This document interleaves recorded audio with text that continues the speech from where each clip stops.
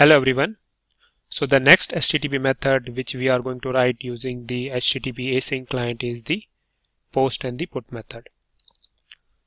So inside the HTTP async client helper class, here I will add one more static method. So public static, the return type of this method will be REST response. And let me call this method as perform post request async. Now the argument to this method are the first one is the URI object.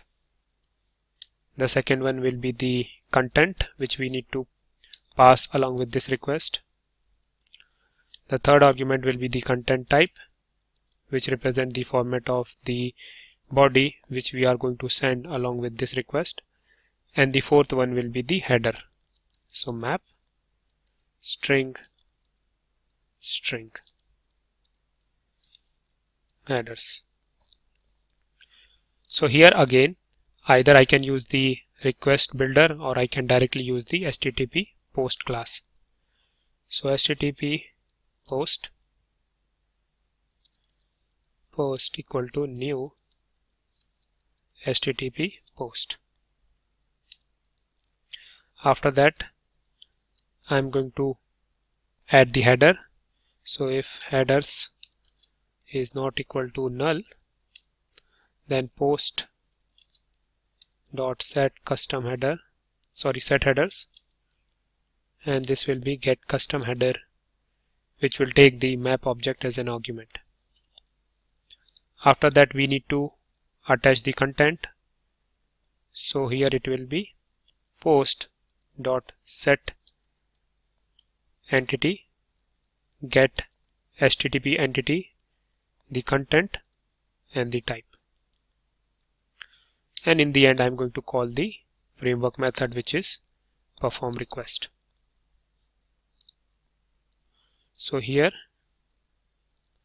it will be return perform request. And the argument to this method are the method that is the http post and second one is the context. So I'm going to supply null here.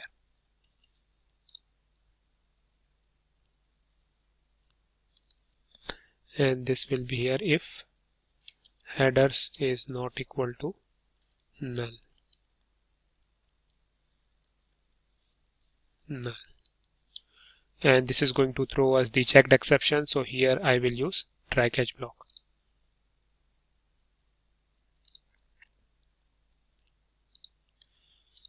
And this will be replaced with runtime exception so throw new runtime exception e dot get message and the exception object Similarly, I'm going to write one overload version of this method. So the method signature remains same, only this will change to string. And instead of all this, I will just call the return and our perform post request async method. Here new URI and the string object followed by content then type and the headers. And as we know that this is going to throw us the checked exception so I'm going to use try catch block here also. And this will be throw new runtime exception e dot get message and the exception object and similar we need to do for the put method. So I'm going to copy all these two method. Change the post to put. Here also. This will also become put. And instead instead of http post I will use http put class.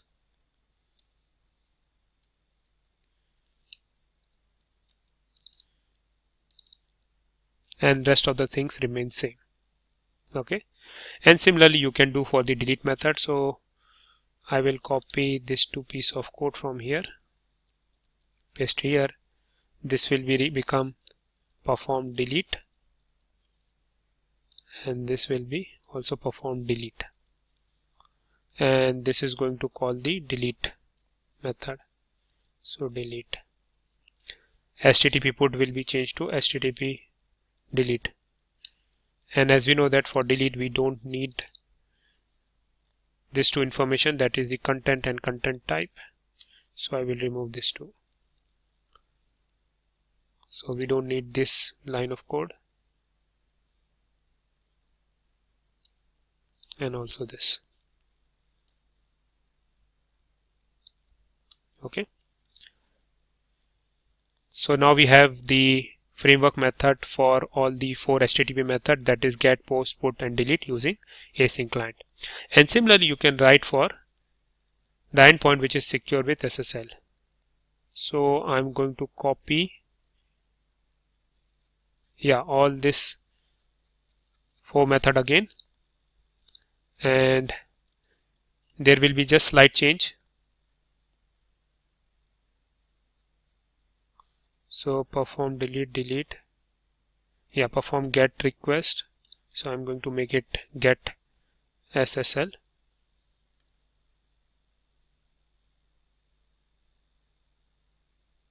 this will be also become get SSL so instead of passing null over here in our perform request method I'm going to pass the SSL context object. So get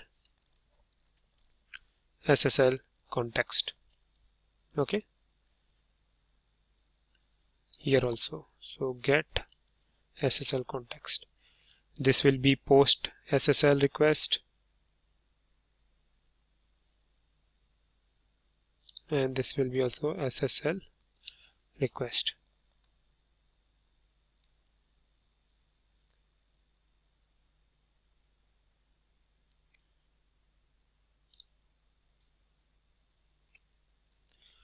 yeah it is going to throw us the checked exception so I'm going to